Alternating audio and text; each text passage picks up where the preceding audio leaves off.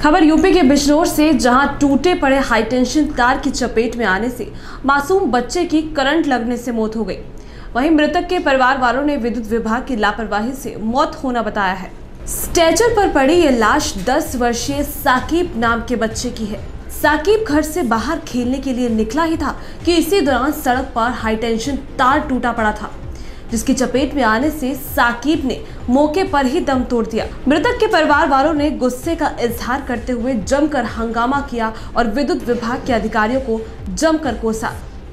अचानक बच्चे की मौत से पूरा परिवार सदमे में है और उनका रो रो कर बुरा हाल है। आपका नाम? मेरा नाम रईस अहमद क्या है मदरसे के आप? मैं मदरसे का मेंबर हूँ कमेटी का। ये मदरसे बच्चे साथ क्या हुआ आज? मदरसे का बच्चा जुमे के बाद छुट्टी होती जुमे के दिन। तो जुमे की नमाज़ पढ़ने के बाद बाहर बच्चे खेलने लगे। एक प्ले ग्राउंड है, जो पहले तो माहेश्वरी का था, लेकिन अब किसी और ने ख़रीद लिया है। वो खाली ज़मीन पड़ी हुई है, उस पर ग्राउंड बना रखा है।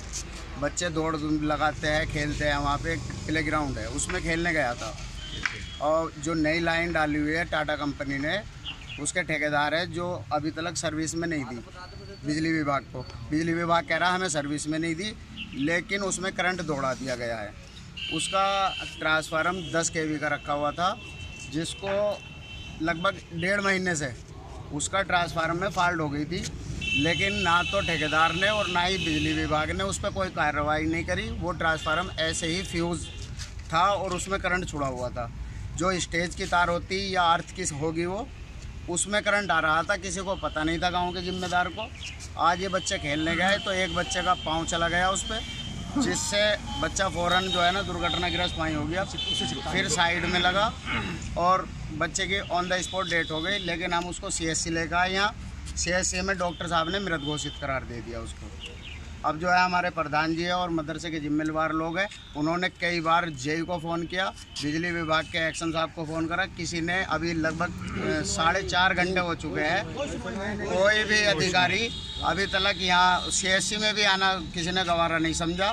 सारी पब्लिक समझदार है वरना अभी तक वो इंतज़ार में है कि कोई अधिकारी आए वरना पुलिस जो है पुलिस पुलिस हमारे थाने की मौजूद है। हमारे हिमपुर थाने की पुलिस यहाँ आ चुकी उन्होंने पूरी अपनी जाँच पड़ताल अपनी कर ली लड़के का नाम क्या है? लड़के का नाम सुभान है। उसके सुभान भी है और साहिब भी बोल रहे हैं। जो हम बोलते थे मदरसे में उसको सुबहान के नाम से जानते थे लेकिन बच्चे का असली नाम साहिब है। आप क्या करना चाह रहे हैं आप? बाप का नाम अयूब है। हम चाह रहे हैं कि हमें जो है बिजली विभाग अपनी इसमें एक्शन ले। भूल की माफ़ी मांगे और गरीब माँ बाप का बच्चा है उसके हिसाब से उसको जुर्माना भरे। वरना तहरीर दे दी क्या? तहरीर हमारे जो उसके बच्चे के दादा है बाप तो उसके मंदबुद्धि है। बच्चे के दादा है उनको बुलाया है वो किसी काम में फंसे हुए हैं वो आ रहे हैं जैसे ही वो आएँगे हम फिर आगे की कार्रवाई करवाएँगे।